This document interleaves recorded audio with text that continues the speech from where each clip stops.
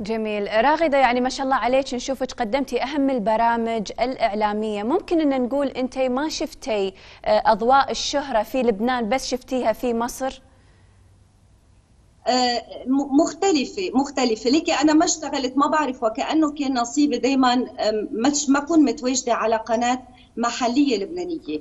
قدمت تجارب بقناة ال بي سي طلعت بكل البرامج ضيفة أو عم أقدم حلقة أو حلقتين بكل المحطات الأرضية اللبنانية. بس التجربة الكبيرة كانت أوربت أكيد الخليج كانت كان باب باب كبير بس الانتشار الأكبر والشهرة الأكبر أكيد حققتها بمصر وأكيد من البرامج اللي لغاية هاللحظة بعد بيت share منها كثير على ال social media وبنشوف مقاطع منها وبفتكر هي رح تكون العلامة الأبرز بمرحلة مهمة كثير من حياتي الاعلاميه هي البرامج اللي قدمتها بالقاهرة. جميل، يمكن من آخر البرامج اللي قدمتيها راغده اللي هو برنامج تحيا الستات. صح هو الأخير على قناة النهار.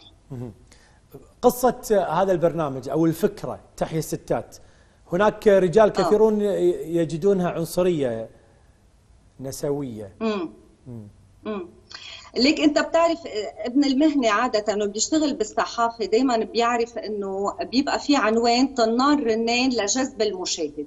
مثل ما بنكتب عناوين بالصحافة المكتوبة لجذب القارئ لينتبه للمقالة أو لحتى يقرأ. هيك نحن كان عنوان للبرنامج. العنوان كان مختلف كان قطع الرجالة مثل ما تابعته بالصحافة. العنوان كان كان مختلف جدا عن المضمون. نحن مش مش ضد الرجل ولا كانت الهدف منا ضد الرجل. نحن كان الفكرة نعمل نوع من من جاذبيه للبرنامج لأنه ضيفاتي كلهم ستات أو فنانات.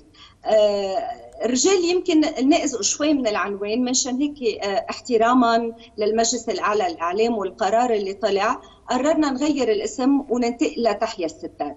نحن ما في هجوم. نحن من خلال البرنامج كنا عم نجرب نعرف الرجل على طريقة تفكير المرأة.